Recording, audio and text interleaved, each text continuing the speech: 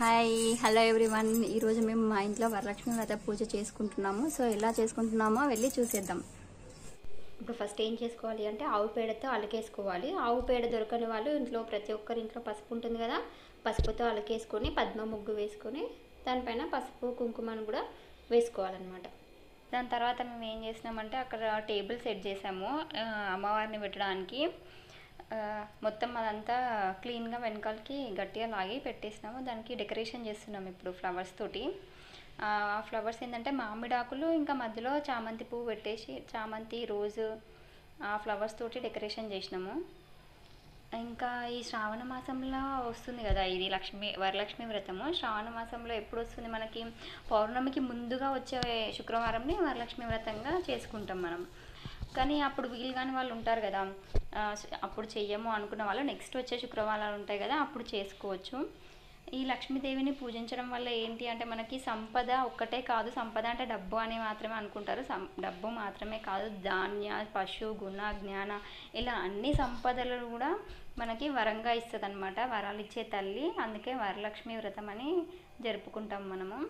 ఇప్పుడు ఆ టేబుల్కి కింద కూడా ముగ్గు వేసేస్తుంది. మళ్ళీ సేమ్ పద్మ ముగ్గు వేసేసి పసుపు కుంకుమ వేసేసి దానిపైన ఒక క్లాత్ అనేది పరుచుకుంటాం ఇలా బ్యాక్గ్రౌండ్లో వైట్ క్లాత్ వేద్దాం అనుకున్నాము. కానీ అది అప్పుడు ఆ కంగారులో దొరకలేదు. దాని తర్వాత మొత్తం అంతా సెట్ చేసిన తర్వాత ఆ క్లాత్ దొరికింది. ఇప్పుడు ఏం చేస్తున్నాము అంటే అమ్మవారిని మొత్తం సెట్ చేసుకుంటున్నాం అనమాట టెంకాయ ఉంటుంది కదా కలసం ఫస్ట్ కలసం పెట్టేసుకొని దాని తర్వాత దానికి ఒక స్టిక్ లాగా ఇట్లా చేతులు పెట్టడానికి ఒక స్టిక్ కూడా పెట్టేసుకుంటున్నాము. ఇక్కడ ఏమైందంటే అమ్మవారి శారీ కట్టించిన వీడియో అనేది మిస్ అయిపోయింది. అది చూపిద్దాం అనుకున్నాను.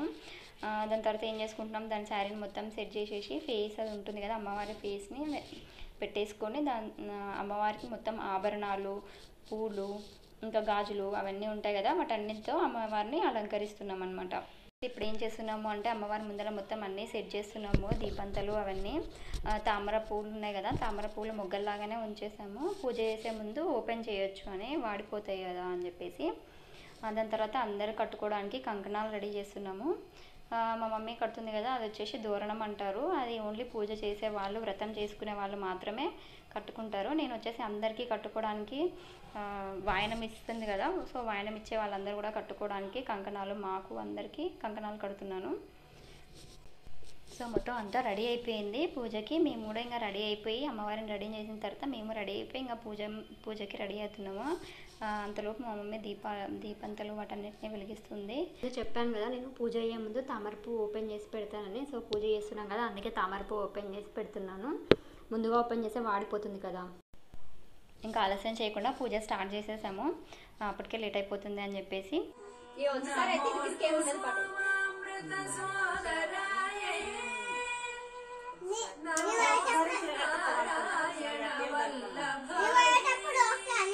అయ్యా అక్క ఫస్ట్ ఇది కాల్చిన తర్వాత అక్క లోపల. అది ముందే ఉంది మనసారి భయం ఇంకా.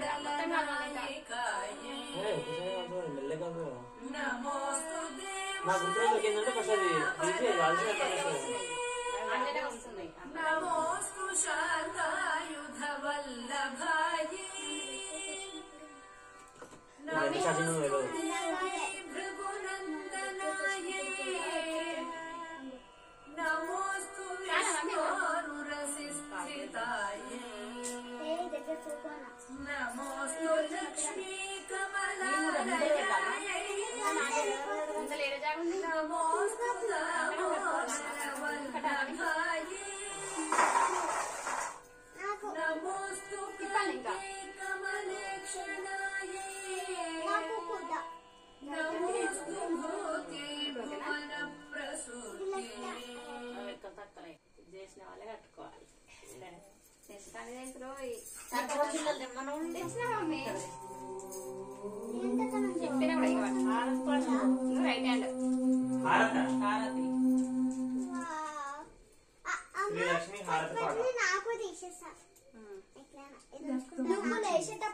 వద్దంటున్నా.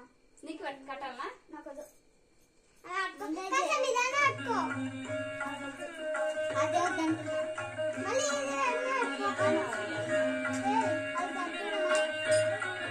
పదకొండు నిమిషాలు పాడింది జయ జయ మంగళ హారతి నీకిది జయ శుభ మంగళ ఇదేంది? జయ జయ మంగళ హారతి నీకిది జయ శుభ మంగళ హారతి సకల సౌభాగ్య వర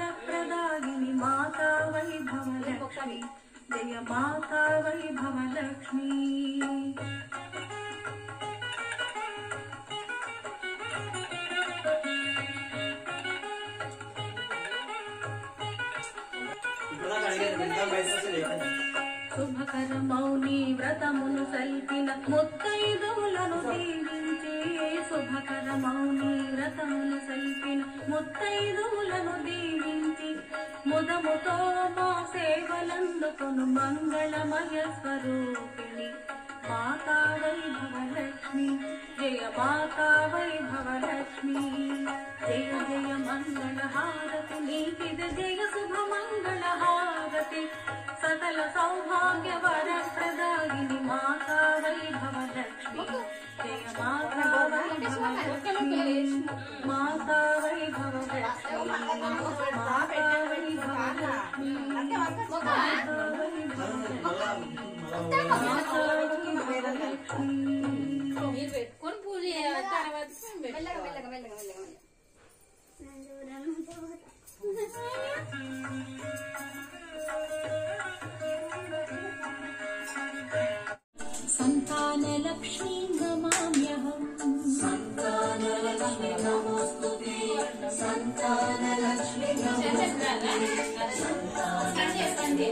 ఇప్పుడు లోపల పూజ అయిపోయిన తర్వాత తులసమ్మ దగ్గరకు వచ్చి పూజ చేస్తుంది మా మమ్మీ. అంటే తులసి చెట్టు దగ్గర మొత్తం అంతా కింద ఉంది కదా అక్కడ కూడా పేడతో అల- అలికేసింది.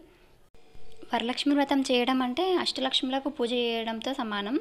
ఈ ఈ వ్రతాన్ని కేవలం పెళ్ళైన వాళ్ళు మాత్రమే చేస్తారు. ఇప్పుడు పూజ అంతా అయిపోయింది కదా ఇంటి దగ్గరలో ఉన్న ఫస్ట్ ఫైవ్ మెంబర్స్ని పిలిచేసి పసుపొట్టు ఇస్తుంది. పసుపొట్టు అంటే పసుపు కుంకుమ అవన్నీ ఇచ్చి అరటిపళ్ళు తమలపాకులు ఇంకా ఎవరికి తోచినంత వాళ్ళు ఈ పూజ కూడా ఎవరికి తోచినంత వాళ్ళు చేసుకోవచ్చు. అంటే ఇంత చేయాలి అంత చేయాలి అని ఏముండదు మీకు ఉన్నంతలో పూజ చేసుకోవచ్చు.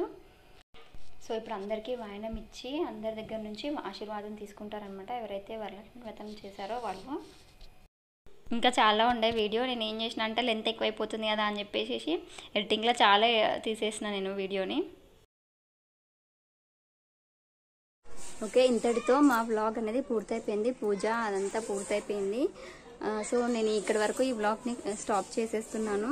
వీడియో మీకు నచ్చినట్లయితే లైక్ చేయండి షేర్ చేయండి. అలాగే ఇలాంటి వీడియోస్ మా తరఫున మీకు కావాలి అనుకుంటే సబ్స్క్రైబ్ చేసి పక్కన ఉన్న బెల్ కొట్టండి.